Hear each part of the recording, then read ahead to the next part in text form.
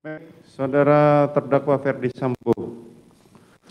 Bagaimana terhadap keterangan ini? Apakah benar semua, benar sebagian, salah sebagian, atau salah semua? Terima kasih yang Izin mulia. mulia. Saya izin. Ya, silakan. Terima kasih yang mulia. Eh, ada beberapa yang tidak benar yang harus kami Oke, sampaikan. silakan. Pertama terkait dengan senjata stayer itu, itu tidak melekat di istri saya. Itu hanya digunakan pada perjalanan keluar kota oleh ajudan.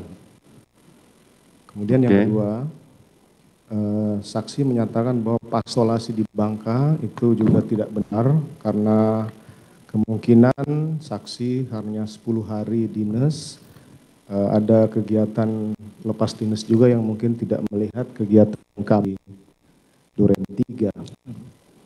Nah selanjutnya saya kira juga dalam kesaksian saya kemarin pasti akan berbeda pada kesaksian eh, saksi pada hari ini, mulai dari eh, di lantai tiga istri ada di samping saya, harus kasih mati anak ini, nanti kamu bunuh Joshua, kemudian eh, kau tambahkan amunisi, serahkan peluru, isi magazen, kemudian permintaan senjata HS ini pasti akan saya bantah dalam kesaksian ini.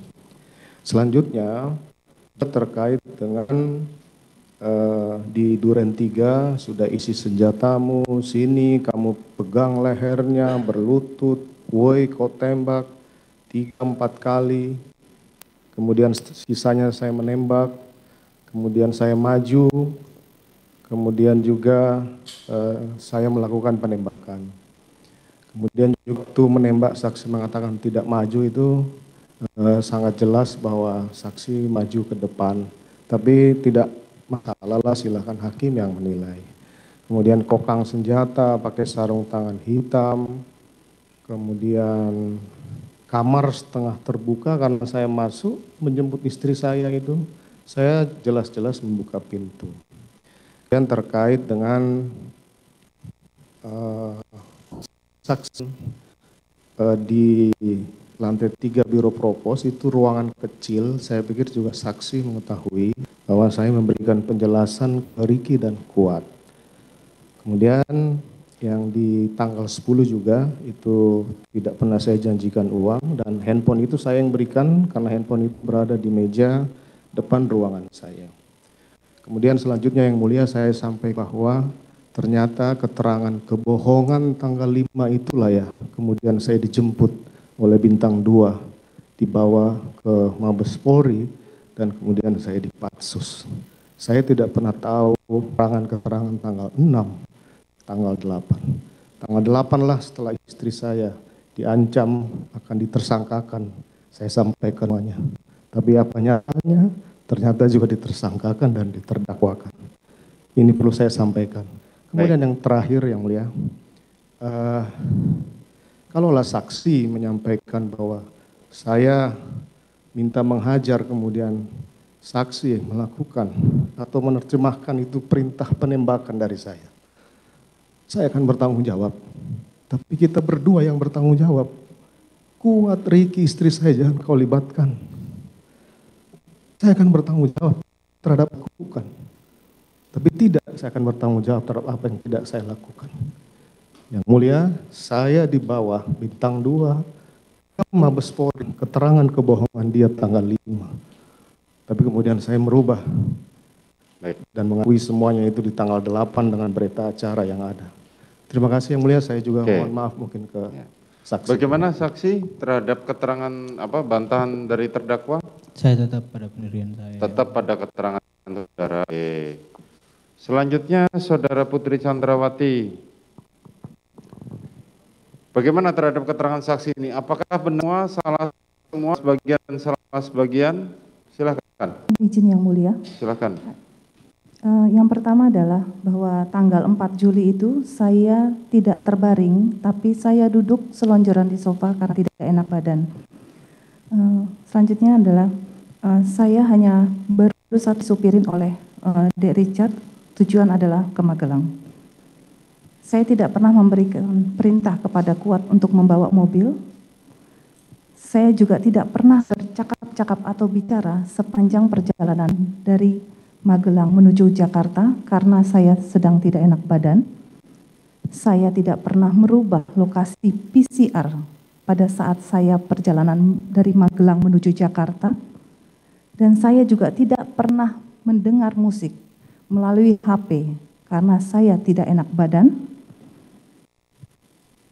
Dan saya tidak pernah memerintahkan Dek Richard untuk menaikkan stair karena saya tidak pernah tahu mengenai senjata itu adalah urusan dinas.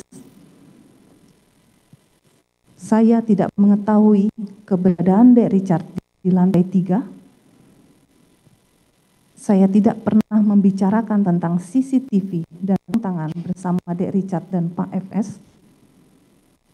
Saya tidak pernah menyampaikan keempat enam di dalam mobil pada saat isolasi dan saya tidak pernah mengajak Dek Richard untuk pergi isolasi ke 46. Pada saat di 46, kamar saya tertutup karena saya pada saat 46 berganti baju.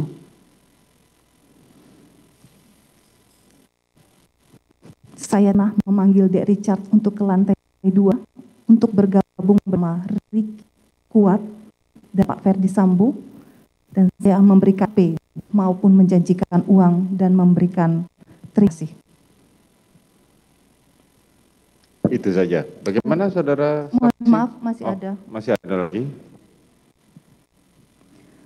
Saya tidak pernah menyampaikan bahwa Yosua adalah ajudan saya, tetapi di driver yang ditunjuk oleh suami saya untuk membantu saya selaku bendahara Bayangkari pengurus pusat.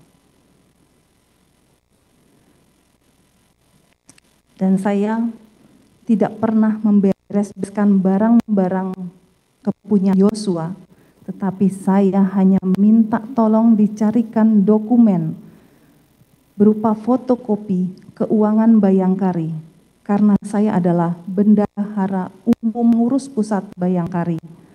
Karena saya mempunyai tanggung jawab selaku bendahara umum pengurus Bayangkari untuk intern organisasi Bayangkari. Karena ini merupakan dokumen organisasi Bayangkari yang tidak boleh diketahui oleh orang lain. Mungkin itu saja yang mulia. Terima kasih. Baik.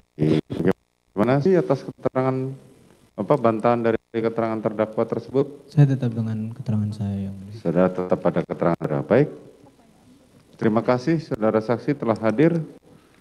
Saudara saksi akan besok diperiksa dengan kegiatan acara sebagai terdakwa dengan ahli. Baik, silakan meninggalkan boleh Silakan pindah ke sini saudara.